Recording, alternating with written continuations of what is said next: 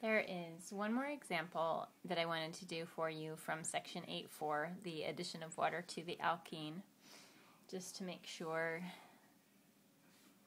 that you totally understand the reaction. say we have this alkene, and remember this is an acid catalyzed reaction, so uh, sometimes the reagent is written as sulfuric acid, sometimes it's written as hydronium or as water with H+. plus.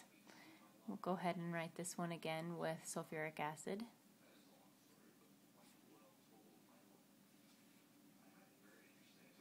In this mechanism, the electrons from the pi bond go after the hydrogen in the acid and break a hydrogen oxygen bond.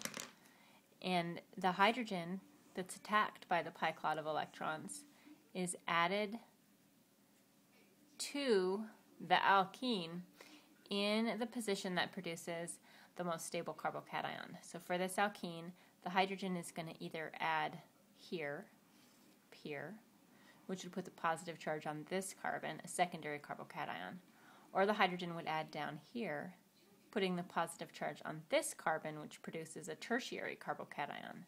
A tertiary carbocation is more stable, so that's the intermediate that we're going to form. And there'll be a hydrogen added down here on this carbon. I'm not going to draw it in. And that carbocation gets attacked by a molecule of water. The water molecule is deprotonated, leaving an OH group. Like that. That's the end of section 8.4. I do want you to write a study question and I think you can write a short summary for this section even though it's not very big. Make sure that you do understand the reagents that you use to produce an alcohol from an alkene. Make sure that you understand it's an equilibrium process. Don't forget to remind yourself to practice rearranging secondary carbocations to form tertiaries if possible.